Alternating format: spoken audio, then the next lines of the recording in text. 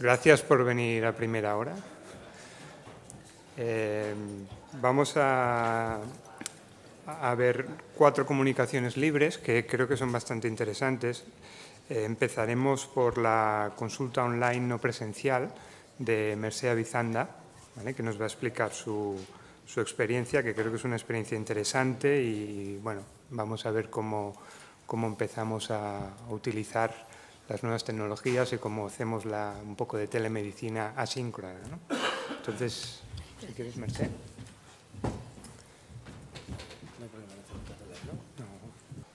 Bueno, mentre s'obre la presentació, vull donar les gràcies a, a l'organització del Fòrum CIS per donar-nos aquesta oportunitat de presentar aquesta experiència d'una consulta eh, per millorar l'accessibilitat dels nostres pacients i,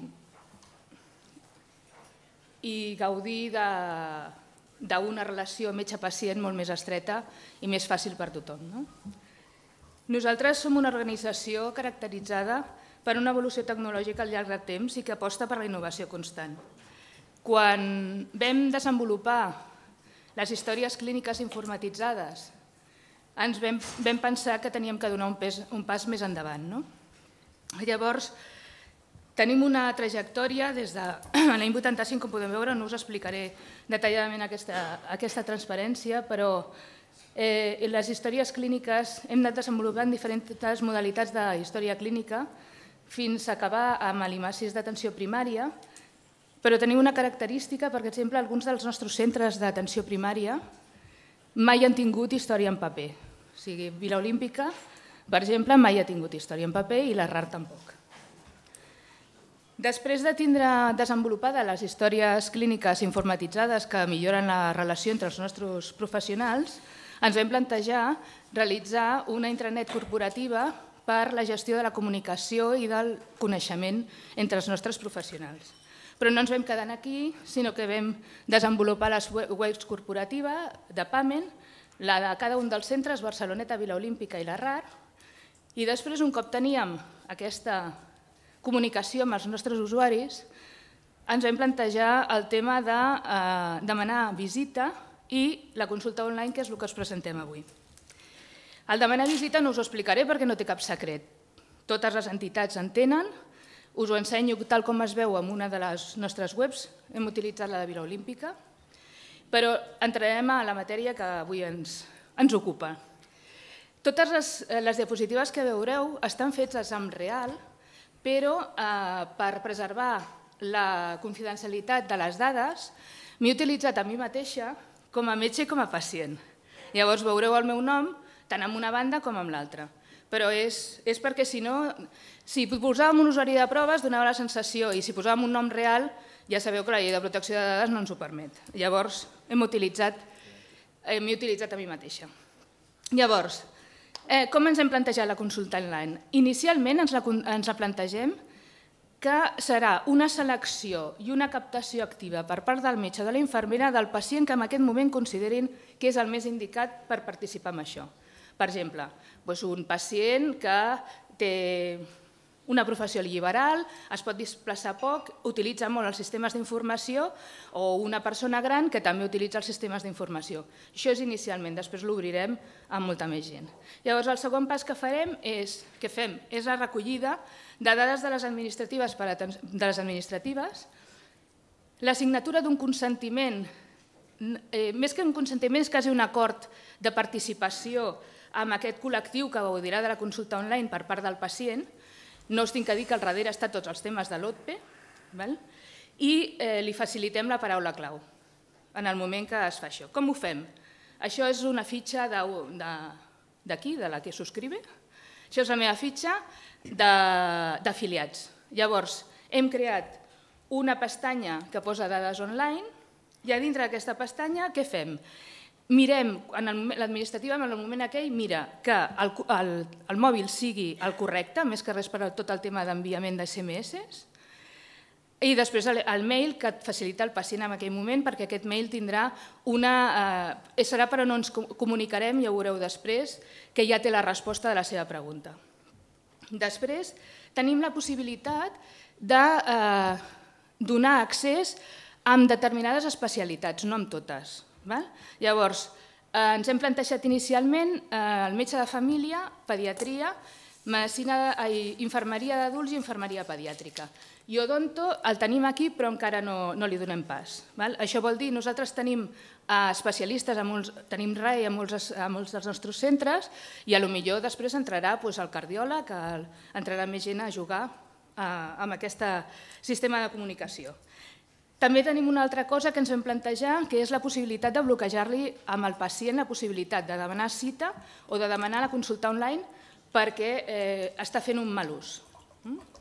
Llavors, un cop s'ha fet això, genera la paraula clau. La paraula clau surt amb un, amb un full com aquest que li donem després amb el pacient. No surt cap identificació de que és la paraula clau de, i aquest se l'emporta el pacient. Com demana un pacient la consulta online?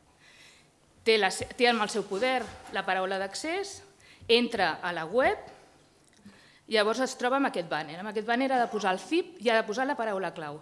A la dreta, eh, ara quan entra, això és la paraula clau i llavors té la possibilitat de canviar-se aquesta paraula clau tan enrevessada per, per una altra contrasenya. Val? Llavors, aquest és el banner que es troba. Es troba amb aquesta banda les consultes pendents de llegir, com en aquest cas jo havia entrat i no havia, era la primera vegada que entrava, no tinc cap consulta pendent de llegir. En la segona pestanya té un històric de les consultes que després veureu i a la tercera com fer una, una consulta. Veure com fer una consulta té la possibilitat d'escollir dels dels professionals que li hem donat accés té la possibilitat d'escollir a qui li vol fer, si a l'infermera o al metge de família. Fa la consulta i l'envia. L'envia i llavors li surt aquest, aquest banner amb aquesta informació que li diu que la seva consulta ha estat correctament rebuda i que rebrà la resposta a partir del 19. Això es va fer el dia 16, després veureu les dates i les hores. Llavors ens ho plantegem que no és una consulta urgent, és una consulta que el, el professional té 48 hores per contestar.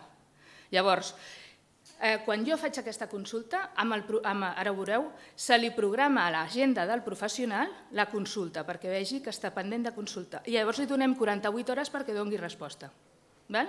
Si per qualsevol motiu no hi ha agenda en aquest període, li sortiria amb el pacient una nota dient-li que en el període determinat no existeix la possibilitat de contestar-li aquesta consulta. Vale?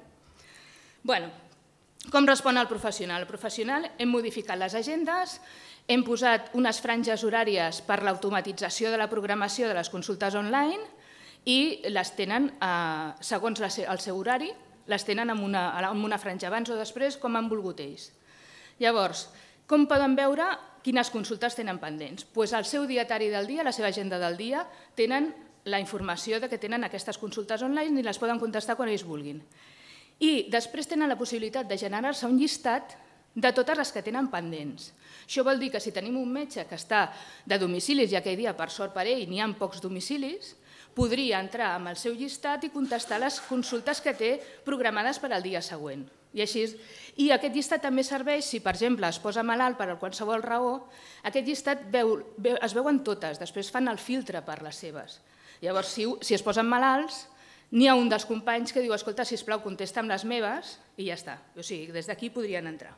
Entren dintre de la història clínica, aquesta és la imatge de l'IMA6 d'atenció primària nostre, i a, a baix a la dreta, al tri de l'esquerra, veieu que eh, n'hi ha l'accés a consulta web. Si està en blau és que dintre n'hi ha consultes per contestar. Si estigués en negre no hi ha res per contestar. Entren dintre, veuen, cliquen al damunt, se'ls obre la consulta i tenen a baix la possibilitat de respondre. I llavors aquesta és per nosaltres la gran innovació que hem volgut, o el gran valor afegit que té, que és que aquesta consulta es registra al curs clínic. Hi ha la possibilitat de que si alguna de les consultes no té transcendència, no es registri, però per defecte es registra el curs clínic, ja ho veieu aquí. Per què? Perquè considerem que aquestes consultes són actes sanitaris o actes mèdics, com vosaltres li vulgueu dir. Llavors tenen una transcendència tant des del punt de vista professional, de relació i legal. Llavors, nosaltres treballem sempre amb tots els nostres motius de consulta i accions que fem lligat a diagnòstic. Llavors, en el moment que dius anotar el curs clínic, eh, s'obre el link de diagnòstics actius i se t'obren tots els diagnòstics actius que té aquest pacient i tu el vincules al que consideres que està relacionada a la consulta que t'ha fet. Un cop fet això, si veieu, estava en vermell, ara està en blau, vol dir que l'acabes de contestar. Tenim la possibilitat també, si veieu a dalt, nova resposta, d'ampliar aquesta informació.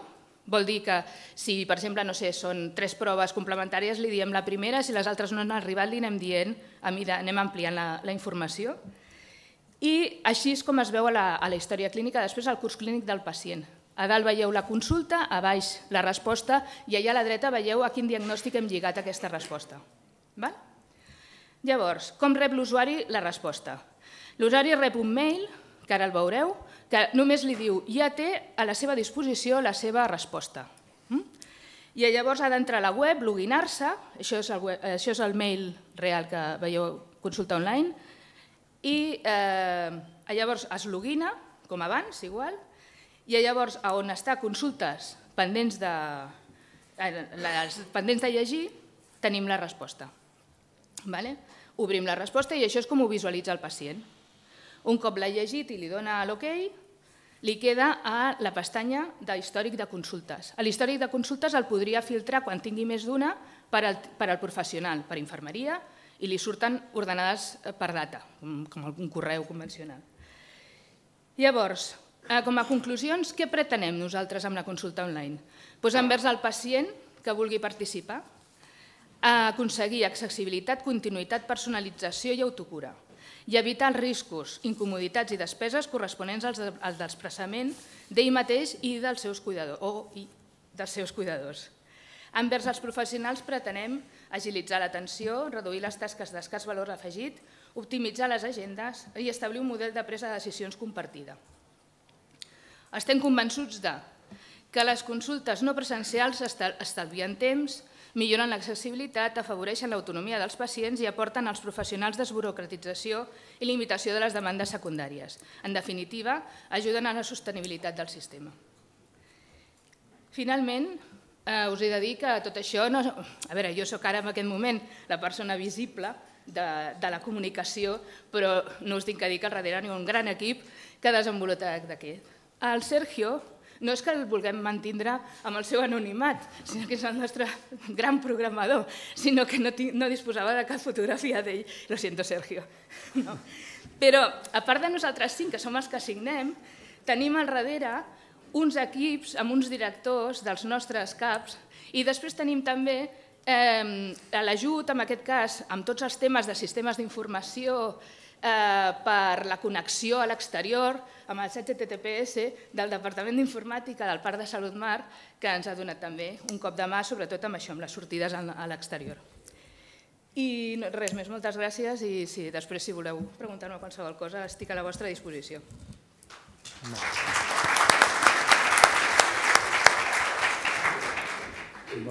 muchas gracias Merced por ajustarte también al tiempo. Y ahora Ramón Morera nos explicará la experiencia del de, de Fels para el tema de la web 2.0 y Facebook y todas estas cosas. Bueno. Bon dia. Bé, gràcies al Fòrum per donar-nos l'oportunitat d'explicar-nos aquesta experiència. És una experiència pràctica que hem posat des de fa uns mesos en pràctica a la ciutat de Castelldefels i, i, i que molt sintèticament eh, té quatre elements. No? El primer element és que creiem en la salut comunitària, no? el sistema sanitari no únicament eh, té que donar respostes a les demandes de salut, sinó que entenem que té plenament vigència el fet de que el sistema sanitari col·labori amb la comunitat a promoure polítiques de salut. No? Probablement poc modern, però entenem que és absolutament prevalent els diagnòstics de salut que tenim, de fumadors, d'obesitat infantil, de eh, pèrdua dels hàbits de, salut eh, sants, etc., ens indiquen que tenim que seguir treballant per fomentar un, una salut comunitària millor i en aquest sentit és una de les claus del projecte.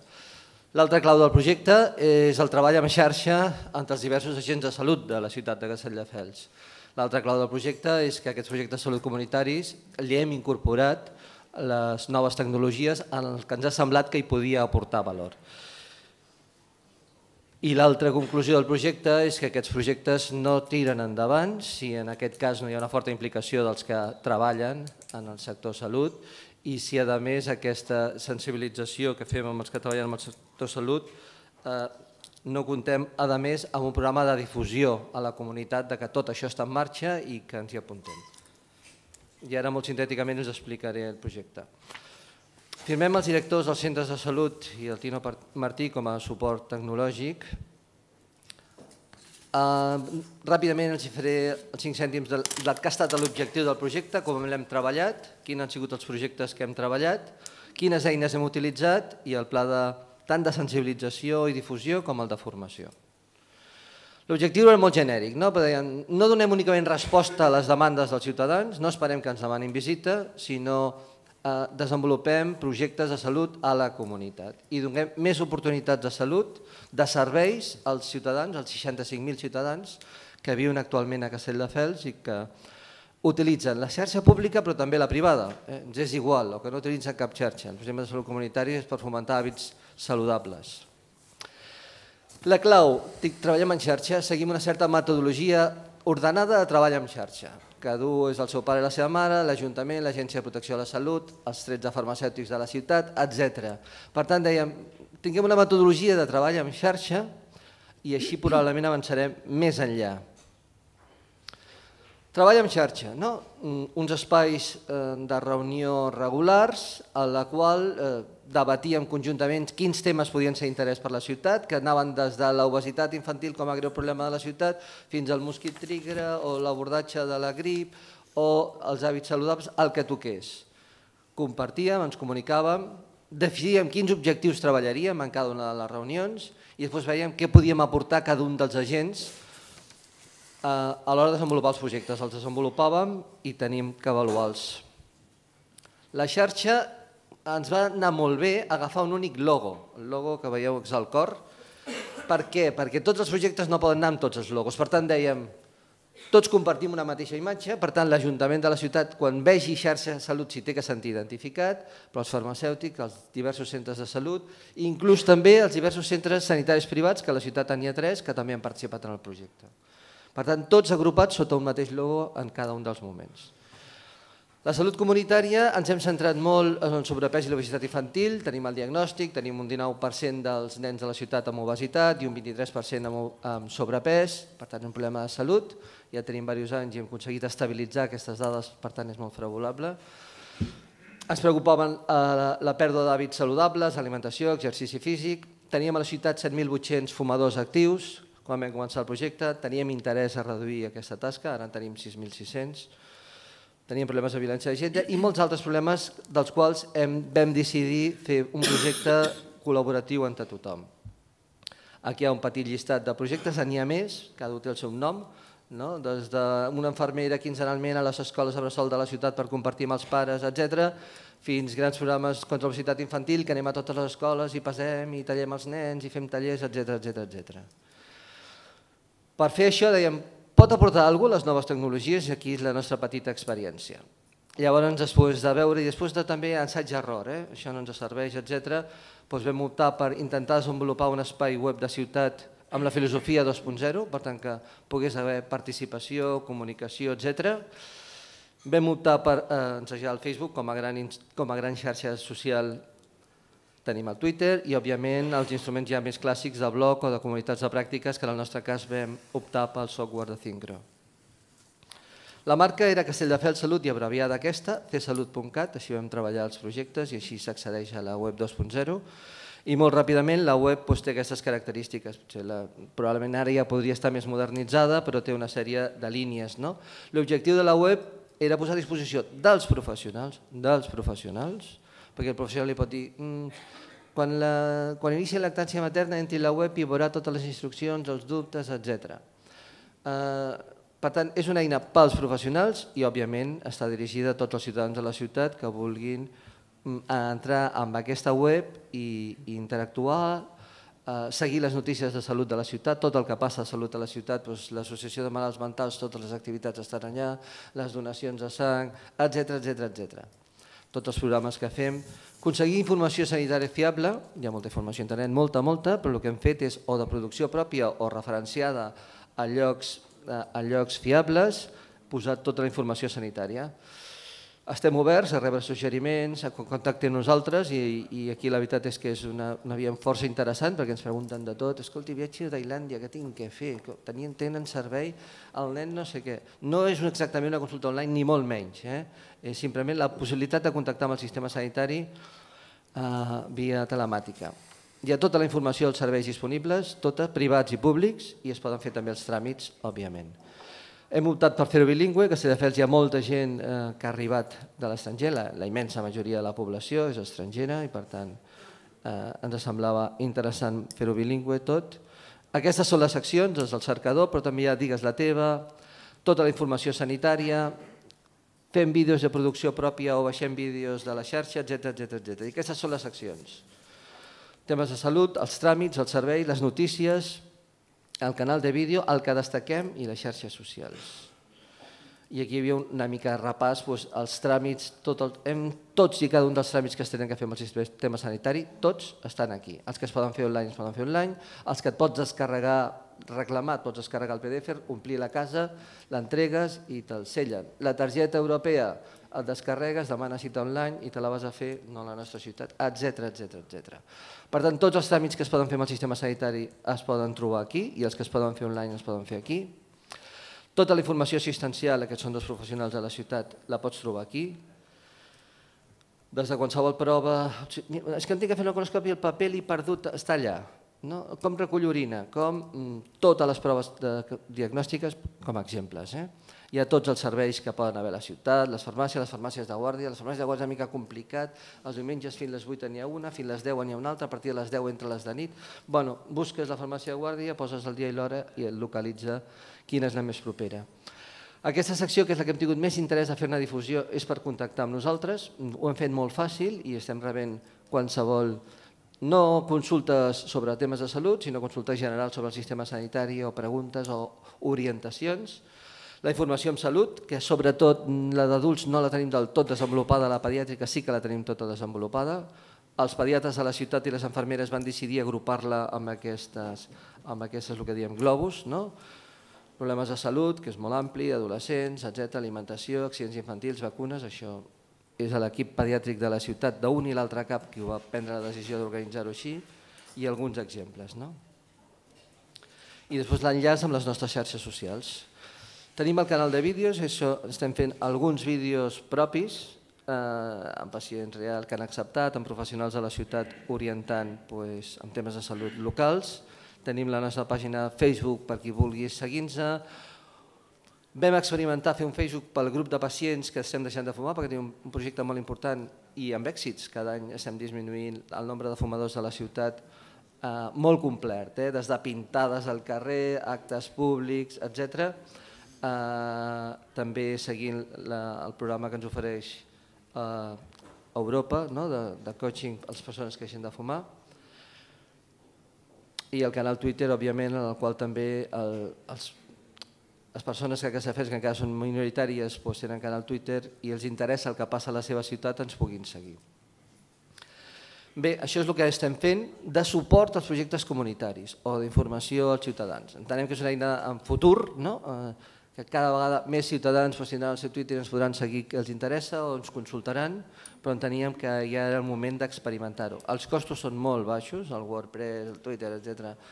Pues, molts d'ells són gratuïts o molts baixos, però tot això no arribaria als ciutadans sense unes accions de difusió. Pues aquí tenim l'acte amb l'alcalde, pues, que és el del centre, en la qual va presentar això a la ciutat i per tant els mitjans de comunicació municipals en van fent difusió. Vam fer un vídeo específic de com utilitzar la web, que està penjat a la nostra web, de qui, què s'hi pot fer a la web, o totes les farmàcies de la ciutat doncs, reparteixen aquesta, aquesta funda de, de targeta sanitària a la que a un costat hi posem la medicació crònica, el còdic de barres, i l'altre hi posem la targeta sanitària, i així més o menys, com a mínim, tots els pacients crònics tenen, tenen eh, el nom de la web i el seu farmacèutic els diu si vol buscar alguna allà ho trobarà eh, disponible. Fem el seguiment de l'activitat com és normal Internament, doncs, òbviament, tenim un bloc més vinculat a l'ètica i a les emocions, però això és un bloc intern de treball amb els professionals, o fem les comunitats de pràctiques a través del software de Syncro, que la veritat doncs, ens va bé, des de pagament, però ens permet doncs, crear grups, doncs, aquí n'hi ha alguns, hi ha dos planes de grups creats, doncs, des del programa de retinopatia diabètica o la gent que fa guàrdies, etc etc. I tot això, i això no va ser l'inici, ho vam veure ja quan tenim el projecte en marxa, que si no sensibilitzàvem a les 150 persones que treballen a la xarxa sanitària, doncs poc avançàvem. Per tant, vam fer un pla de formació amb uns temes, amb una metodologia de treball, amb grups petits, 12 persones, no podíem fer una sessió per 60 persones, amb un cronograma de sessions, amb uns mòduls i que tothom passés per conèixer les xarxes socials, etc. No? Per exemple, a l'inici d'això cap professional de la salut de CSFLs tenia Twitter. No? I per tant, pels alts i de Twitter, si ningú el tenia, ara ja en tenen una vintena, pues, pues que han entès pues, que els hi pot servir. No? I per acabar, tres conclusions. Uh, creiem molt en el treball en xarxa. Eh? L'interès del farmacèutic és un, però quan parlem d'objectius compartits també li interessa. La visió de l'Ajuntament és una altra, però també té una inquietud pels temes de salut comunitària i té moltes oportunitats de donar-nos suport, de fer-nos difusió. Per tant, el treball en xarxa ens ha permès arribar més enllà.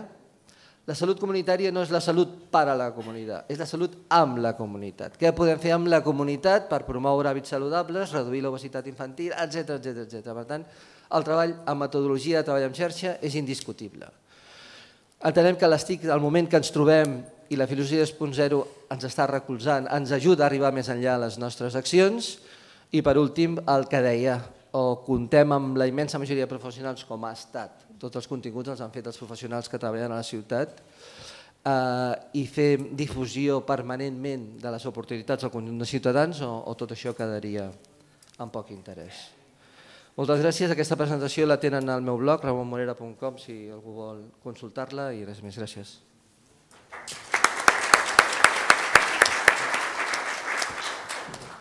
Gracias, Ramón. Bueno, ahora eh, Alberto Alonso nos explicará cómo podemos acercarnos al, paciente crónico frágil y llegar a su casa.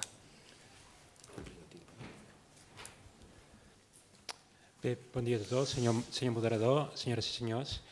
El que m'agradaria presentar-los en aquesta eh, ponència d'aquest matí seria el resultat d'un treball que hem fet eh, en el context d'un projecte europeu i que és el resultat d'un conjunt de, de gent que hem estat mirant especialment el model d'atenció integrada a domicili en pacients eh, fràgils. Eh, hem triat els prototips d'ictus, insuficiència cardíaca i de malaltia pulmonar obstructiva crònica com els més representatius pel nostre estudi, per bé que d'alguna manera eh, l'objectiu final era la capacitat de transferència de l'aprenentatge realitzat. En l'atenció integrada a domicili eh, eh, estem parlant d'un model d'interès que forma part, com ahir ens recordava la senyora Fernández, del model de continuïtat assistencial, per tant encaixa molt bé en l'actual política del Pla de Salut i en aquest especial èmfasi que es fa entorn als temes de cronicitat. Eh, el model s'adreça específicament en pacients que fan una demanda d'assistència, sobretot en el moment de l'alta hospitalària i amb una certa necessitat de rehabilitació, ja sigui com a conseqüència de les característiques de la malaltia què estem dirigint o bé com a conseqüència de la dependència que aquesta malaltia eh, comporta. Sempre en aquest model es requereix una col·laboració entre pacient, cuidador i l'equip multidisciplinari que se n'ha de fer càrrec amb una certa especificitat. I en el context també del que ahir ens parlava en la ponència de la tarda a López Casasnoves, eh, eh, el model intenta perseguir criteris d'eficiència, qualitat, accessibilitat i un cert grau de satisfacció tant en els professionals com en el pacient que l'envolta. Aquest model té, i això és rellevant eh, per, la jornada on estem i pel conjunt de ponències que aquí es presenten, eh, té, té la particularitat de que fa ús en major o en menor mesura de les tecnologies de la informació i comunicació, en tant i quan permeten assumir alguns d'aquests objectius assistencials, clínics o d'organització que eh, l'atenció integrada a domicili es fixa. L'objectiu en el nostre treball era investigar quina era l'evidència disponible i, per tant, eh, evidència sòlida al voltant d'aquest format d'assistència. com he dit, en pacients amb fràgil, principalment amb el focus en aquestes tres patologies i comparar-les sobretot amb els models habituals dels que estem fent ús. Per fer aquesta avaluació eh, vam triar una metodologia que fos suficientment robusta i acceptada per, amb la finalitat de donar suport a una certa presa de decisions. D'alguna manera el resultat final havia de ser donar pautes per la recomanació o no de la dominància d'aquest model enfront dels habituals. Vam triar la metodologia d'avaluació de tecnologia mèdica, que molts de vostès possiblement coneixen, amb la eh, definició específica que s'ha fet recentment al, voltant d'aquest eh, model d'avaluació de telemedicina. Aquest model, que potser és menys conegut i per això m'he permès eh, fer-ne alguna breu indicació de què va, fonamentalment treballa en base a tres grans blocs temàtics, el qual l'important probablement és el del mig, aquest dels de, dominis, no? i on s'exploren diferents dominis, aquests set dominis en concret, o es recomana explorar aquests set dominis. Jo en parlaré d'alguns d'ells, no de tots, en la ponència d'aquest matí, per bé que en el nostre treball han estat valorats tots ells. I després, com, com a aspecte interessant d'aquest model, es fa una certa estimació de la capacitat de transferència, no? sobretot en quina mesura les conclusions que s'han tret d'aquest model poden ser escalables o generalitzables en altres entorns. El primer, o el, el primer dels dominis al que voldria fer referència és aquell eh, de l'eficiència clínica. En el nostre estudi vam, trobar, eh, vam considerar eh, els estudis clínics aleatoritzats com a eh, estàndard patró per intentar eh, trobar evidència en, aquest, en, en aquests casos. I he de dir que no en vam trobar masses, aquí, aquí surten, eh? eh per ictus en vam trobar 14, per insuficiència cardíaca 3 i per MPOC 3. Els criteris d'inclusió eren, eren bastant estrictes pel nostre estudi perquè havien de tenir diguem-ne consistència científica i eh, a més tenir variables indicadors que fossin comparables a través dels, dels diferents estudis i això explicaria el baix número d'estudis clínics aleatoritzats que vam identificar. Eh, de tota manera, cal dir que en aquells casos que serien més crítics, el d'insuficiència cardíaca i el de la malaltia pulmonar obstructiva crònica, val a dir que eh, la robustesa individual de cadascun dels estudis era, era bona i a més que eh, a través dels diferents estudis, inclús a través de les diferents patologies, tots s'apuntaven en la mateixa direcció. Per tant, els vam incloure en el nostre, en el, en el nostre treball d'investigació. Els resultats que vam fer va ser intentar explorar per les variables que vostès aquí tenen indicades, mortalitat, dependència, reingressos tots, és a dir, totes les causes de reingrés en la insuficiència cardíaca i reingressos específics a, a malaltia pulmonar obstructiva crònica, vam calcular el valor d'oportunitat relativa d'aquestes variables versus l'aproximació tradicional. I el que és interessant és eh, assenyalar que en tots els casos hi havia significància per aquest indicador i a més amb intervals de confiança que eren eh, raonables. Altres característiques que estaven lligades a la troballa específicament clínica és que en els diferents estudis els millors resultats s'observaven quan els pacients tenien una certa eh, malaltia que s'expressava de manera moderada o severa i que requeria una certa intensitat en el servei, és a dir, malalts molt simples, mm, probablement aplicar el servei aportava molt poc, malalts complexos requerien altre tipus de servei i no l'atenció integrada domiciliària. Els criteris d'inclusió, curiosament, eren bastant comuns per tots els estudis, eren l'edat, pacients que feien una demanda de seguiment, com hem dit abans, i per criteris logístics la distància al centre que proveïa la major part de l'assistència. I potser més interessant, com a criteris d'inclusió lligats a la malaltia, sempre havia d'haver-hi un diagnòstic clínic confirmat, l'atenció integrada no era el punt on fer aquest diagnòstic, i per ictus, com índex de funcionalitat d'entrada s'utilitzava el Bartel en el punt d'admissió, valors de 12 a 16, insuficiència cardíaca corresponia a malalts severs, eh, de, de 2-3 en l'escala Nova York, i amb malaltia pulmonar obstructiva crònica, com a, predicció del BEMS, en el voltant del 30-70, per tant, una certa eh, limitació eh, aèria. No? Criteris d'exclusió eren molt variables i fonamentalment lligats a, a, a la logística de, de muntar el servei. Des d'un punt de vista d'avaluació econòmica, un altre dels criteris, vam, vam realitzar una estimació perquè la veritat és que no s'incorporava en, en cap dels estudis, o en pocs dels estudis aleatoritzats que vam considerar l'avaluació econòmica.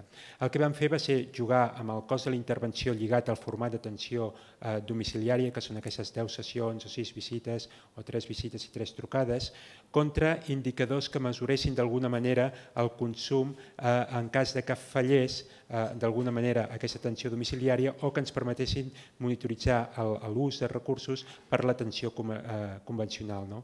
que eren l'estada, el suport de domicili i reingressos. Això ho vam transformar tot en estades i per calcular d'una manera homogènia eh, els costos vam utilitzar el manual holandès de, de, de, per, per estimar costos en avaluacions econòmiques. Com veuen, i això seria potser la part més interessant, eh, els resultats nets per pacient, eh, bé, no tinc el punter aquí actiu, però serien aquests 1.600, entre aquests 1.600 i 800 per les diferents patologies. Clar, això seria el resultat net estimat a partir dels resultats trobats. Seria eh, oportú, i així ho vam fer-ho, eh, intentar dibuixar un cas eh, menys favorable o el més desfavorable, i això és el resultat que vam calcular o que vam recalcular en base a la següent línia que apareix aquí, la marcada amb l'asterisc, on d'alguna manera l'exercici que vam fer va ser estimar que els beneficis clínics observats es reduïen al 50% i vam incloure també el valor superior de, eh, del que seria l'interval de confiança. Eh? De tota manera, tot i fent aquest exercici de pitjor cas escenari, els resultats continuen estant dintre de la franja positiva. Això fa pensar que des d'un punt de vista purament de criteri econòmic, això compliria amb l'estàndard acceptat de dominància econòmica i, per tant, faria recomanable aquest model d'atenció integrada domiciliària davant l'opció, diguem-ne, habitual. En l'última línia els hi presento el que serien diguem-ne el nombre de malalts que es beneficiarien eh, d'un servei d'aquest tipus, tenint en compte la incidència de la malaltia i aquests 30, 30 i 25% representarien eh, el, el, el nombre de malalts que d'acord amb els criteris d'inclusió i exclusió dels estudis considerats eren elegibles pel servei, que com veuen no, no són el 100%. Les senyes totals de malalts estarien aquests 300, 350 o 150.000 eh, en cada cas. Les perspectives dels pacients eren, que també es miren eren, eren bones, amb algunes petites diferències. En la columna de tipus intervenció veuen el feien i com els pacients ho vivien. Doncs és interessant, per exemple, en el model de l'ictus, potser el més treballat, que d'alguna manera una de les avantatges era que els pacients percebien que els professionals entenien molt bé l'entorn en aquesta fase postaguda de la malaltia, quan estava al domicili. Els professionals tenien la capacitat d'entendre millor l'entorn i, per tant, fer més adequada la capacitat de proveir assistència. Eh, es parlava d'un canvi en aquest paper del professional que esdevenia un conseller i no hi ha el mateix professional que havien conegut en l'hospital.